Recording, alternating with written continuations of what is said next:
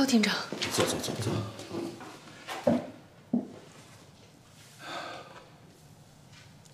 周毅是共产党，这不可能。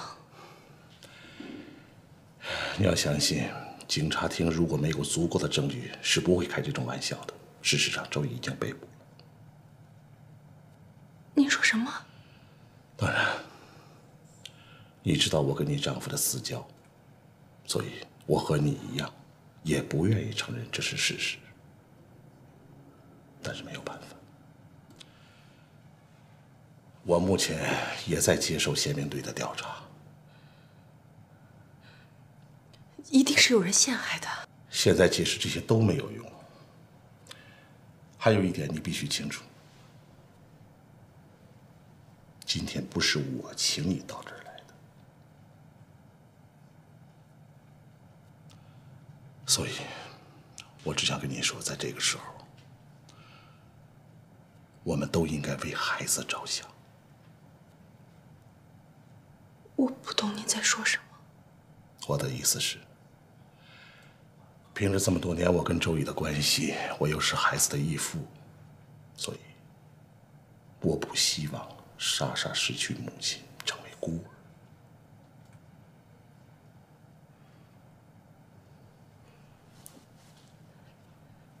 莎莎在哪儿？我也不瞒你了，实际上我也是今天早晨刚刚得到确切的消息，莎莎并没有丢，她在日本人那。但是可怕的是，我给宪兵司令部打电话，他们却说不知道。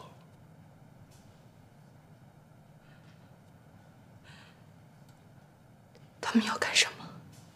我也不知道。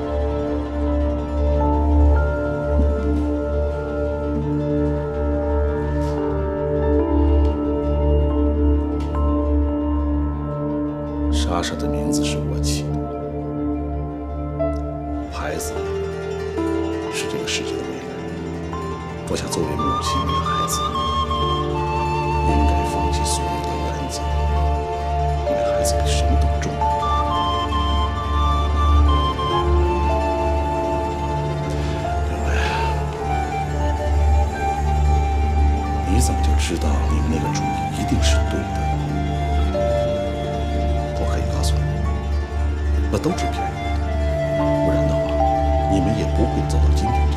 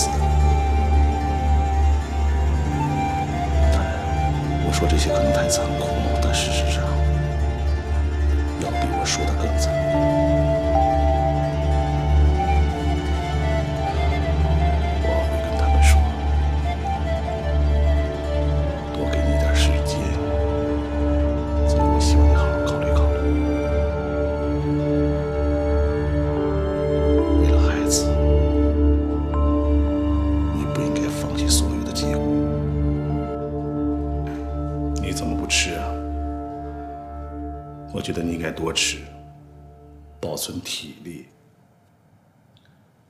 我要见刘厅长。可以但是我得为你去申请。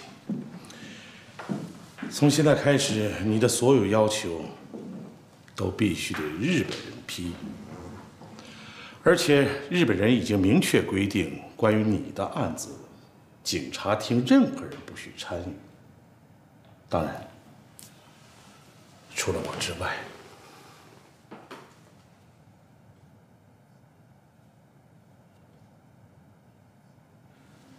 我们在你家里找到一本书，是一九二八年出版的《醉渔城》。这本书的后面有一行字，大概你都忘了，写的是“一九二九年五月四日购于北平”。我们发现这个字啊，不是你的笔体，也不是吴秋雨。那么究竟是谁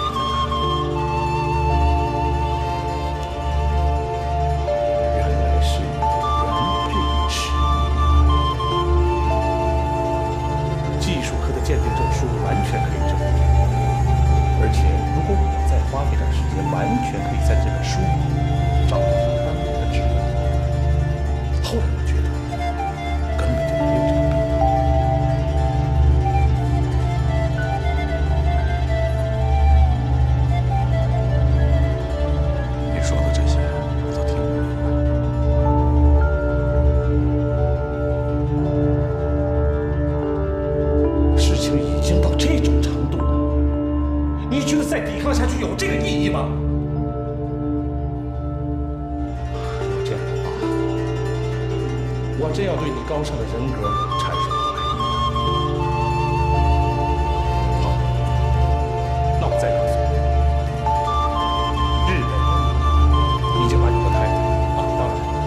确的说是对名誉的态度，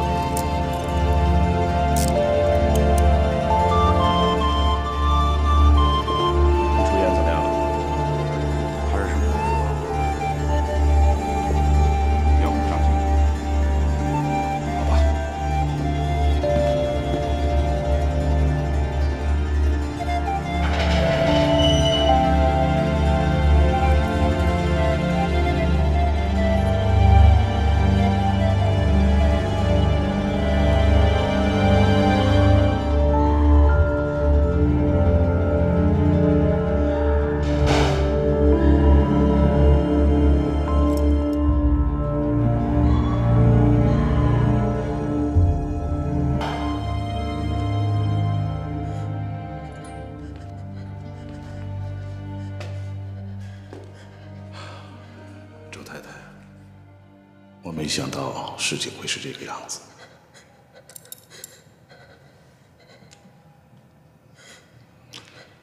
周仪是共产党，这是事实。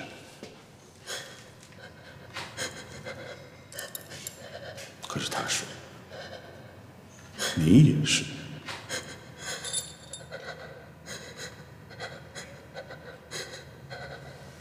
他刚刚被日本人带走了。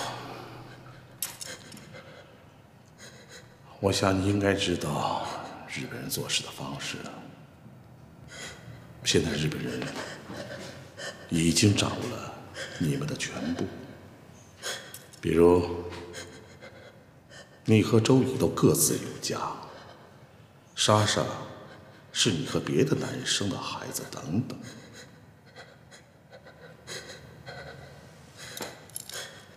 所以，你们在日本人面前已经没有任何秘密了。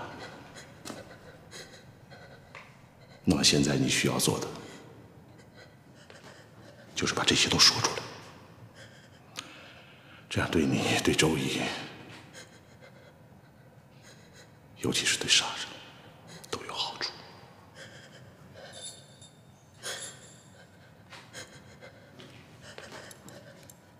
莎莎在哪儿？日本人一会儿会把他带来的，但是我不希望孩子看到你是这个样子，因为他已经吓坏了。我是看着孩子长大的，我非常喜欢他。你知道我为什么给他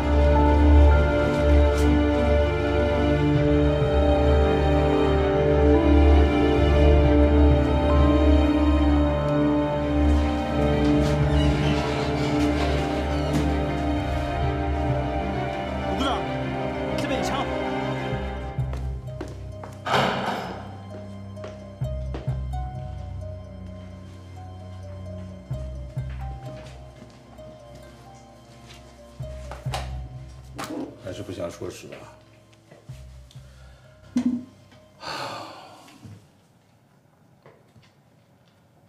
你们出去。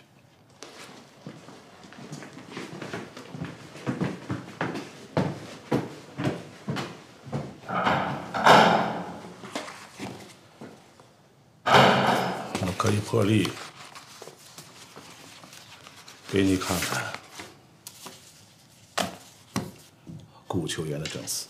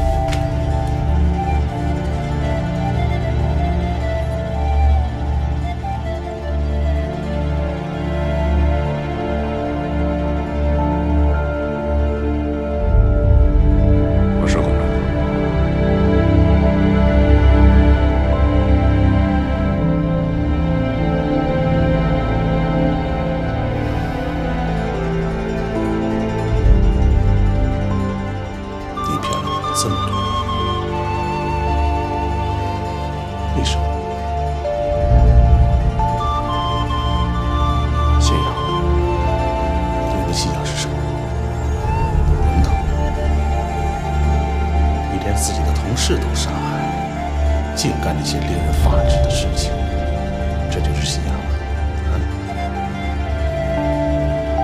你理解的太肤浅了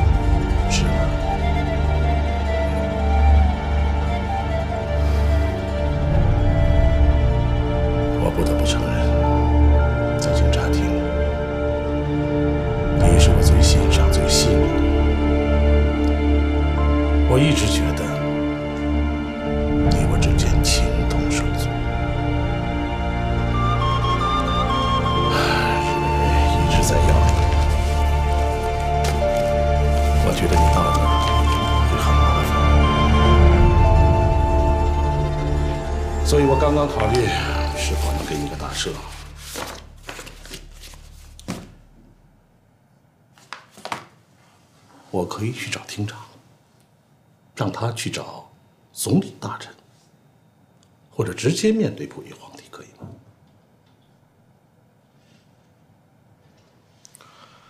不必了。我如果是为了升官发财，完全可以有另外一种选择。我说了，这是我的信仰。你不觉得你们的信仰太荒唐吗？马克思所有的承诺，你共产党根本就做不到。你看看斯大林就知道了。一定能做到。在不久的将来，会有一个新政府，没有皇帝，没有权贵，没有剥削和压迫，不会丧权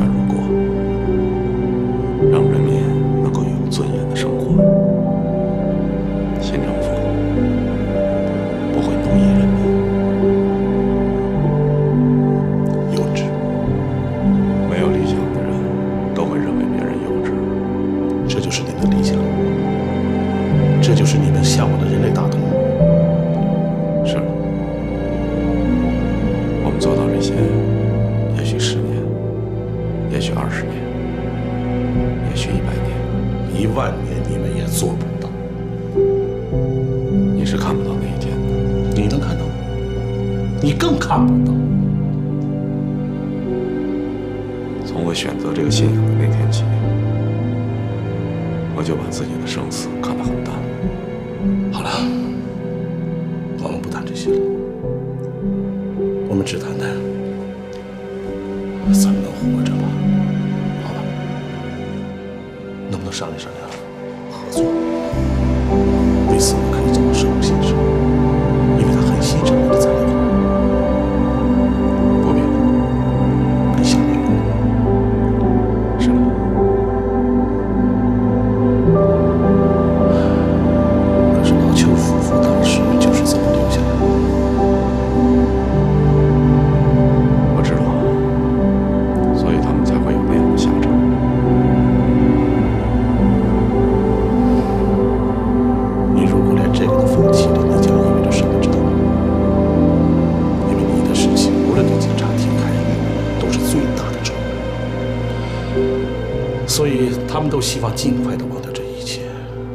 因此，你的事情不会走正常的法律程序，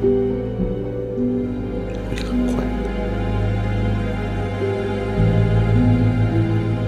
明白？好吧，你还有什么要求，尽管跟我说说。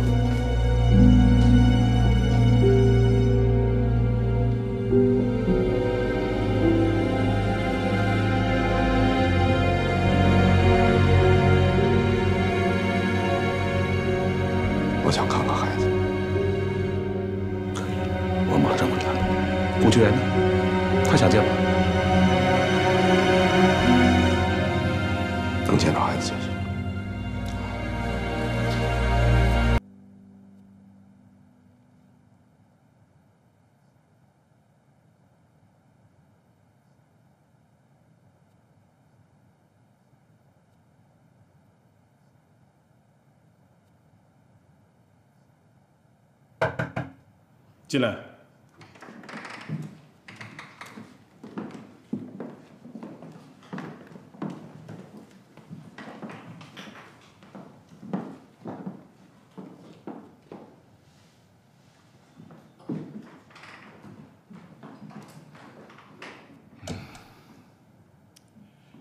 坐吧。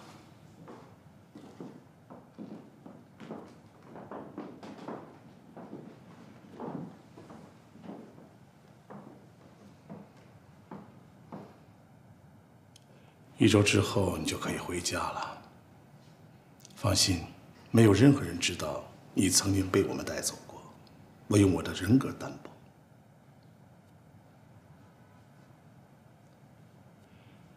周乙的案子已经进入到秘密审理程序，无论日本人还是警察厅，都不会把这件丑闻扩散的。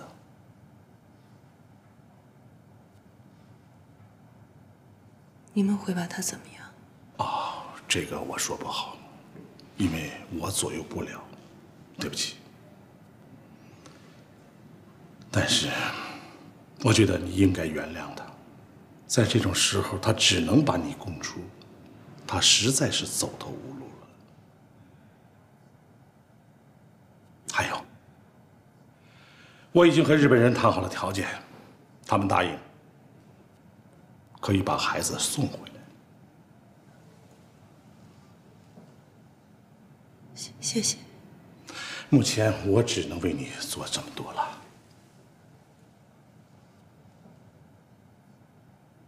现在，你可以给你的上司发报吗？好。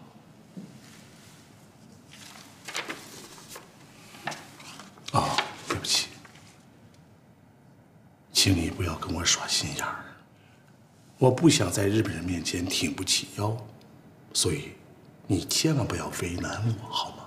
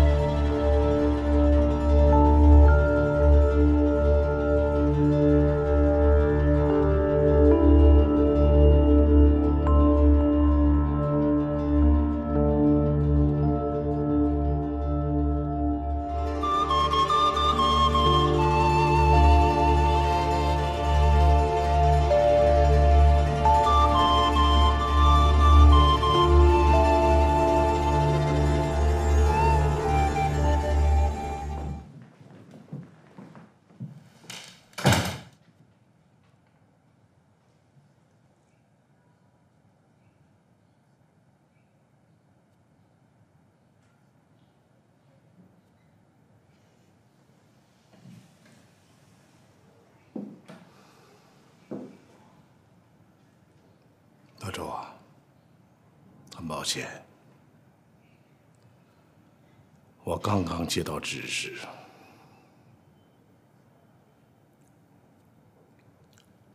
知道了。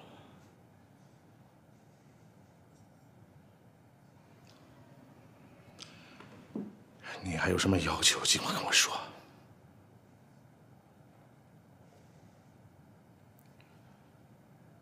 我想见我